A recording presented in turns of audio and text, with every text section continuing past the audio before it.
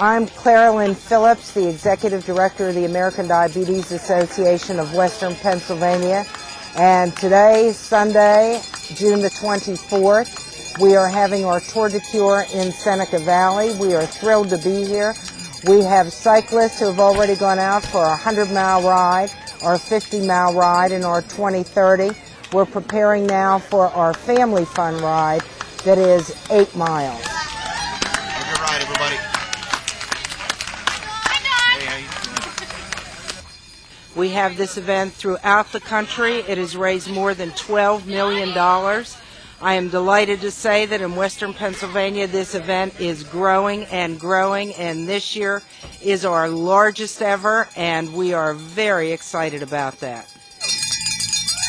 SAG uh, wagon has uh, returned. It is here with the. My name is Raymond Albert. I'm a ham radio operator.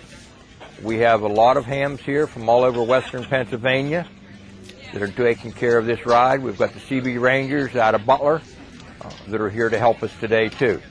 They take care of the fun ride and we take care of the other ride. Well, we go from here at Seneca Valley High School, we go through Harmony, uh, the 100 miler goes through New Castle, up through, Volant, uh, through McConnell's Mills, and back here. The 50 mile an hour does about the same. It cuts off through West Pittsburgh. It comes across the 20 and 30 goes Seneca to Mars and out through that area. Then we have a fun ride which the CB Rangers are helping us with uh, the last few years, and it goes in through Zelienople and Harmony. It's a short ride just for the kids and the younger people that don't have the experience.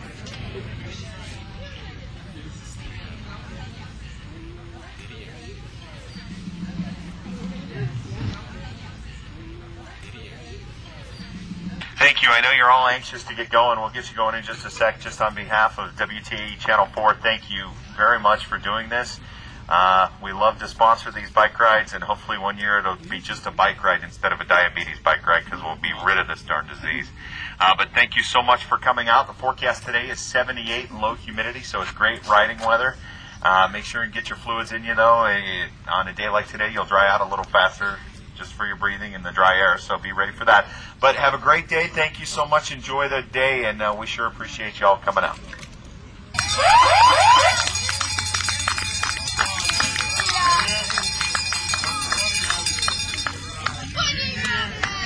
Watch for deer.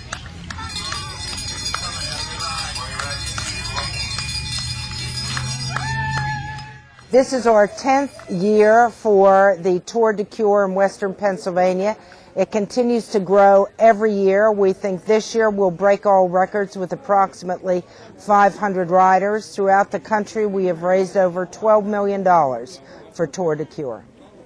We have marvelous sponsors. We're proud to say that Siemens is back on board with a presenting sponsorship. First Commonwealth, our good friends who sponsor so much of what we do, are sponsoring our hospitality tent and our thank you luncheon this year. Duquesne Light is also a sponsor. Pendali Coatings, University of Pittsburgh Diabetes Institute, also Butler Memorial Hospital, and we have many more who are giving us gifts in kind as well as rest stop sponsors. We have 10 rest stops. All of those are sponsored as well. Dan could you please, from Siemens, come to where the megaphone is? Thank you.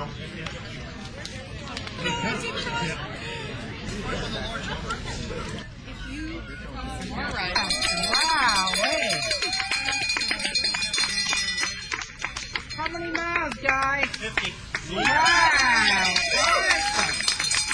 Come on, let's hear it.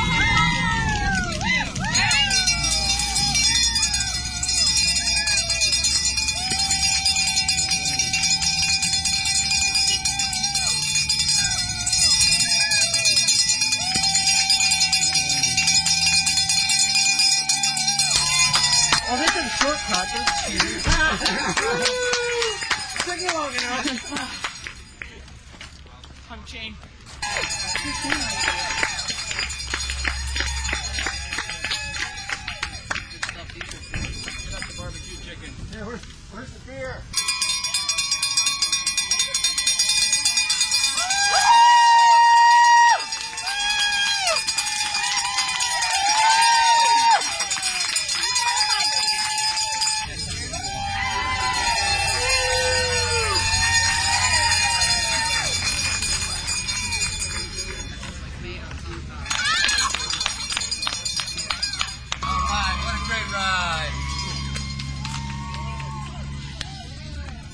Good run.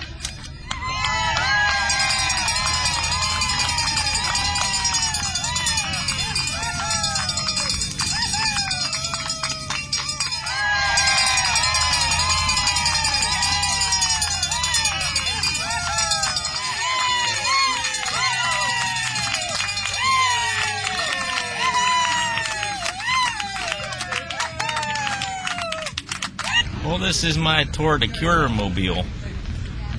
It's a recumbent with fairings on it. I ride it once a year on the Tour de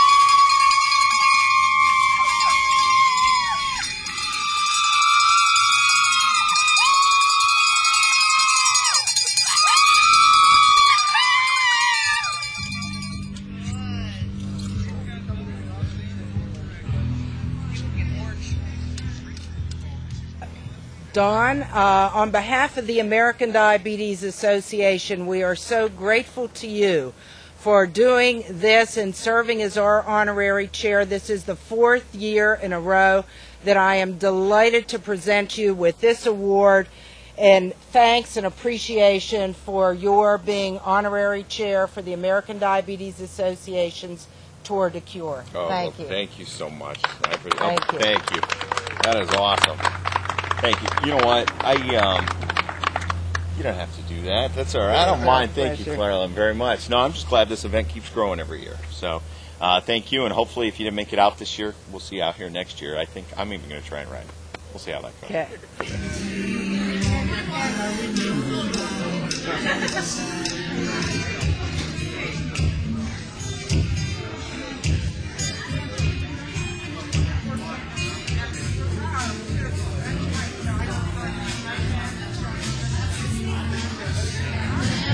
was the ride there, Sean? Tell us about Uh, the ride was beautiful. Um, the weather was perfect. We had some nice flowing flats. We had some nice challenging hills.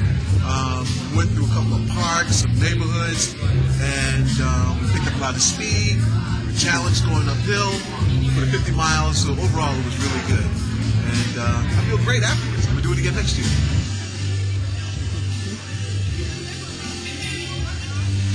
City. Rest stop number one. Volunteer. Ellwood City, go.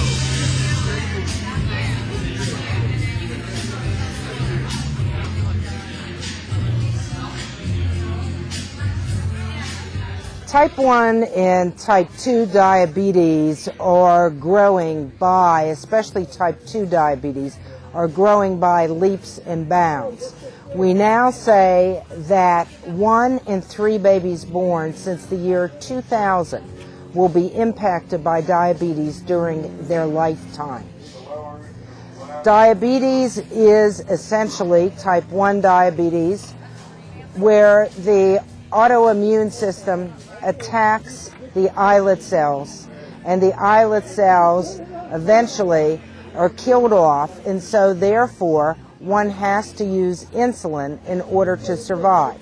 So that is why you see people wearing pumps with insulin or taking shots of insulin because without insulin, you don't have energy and you can't live.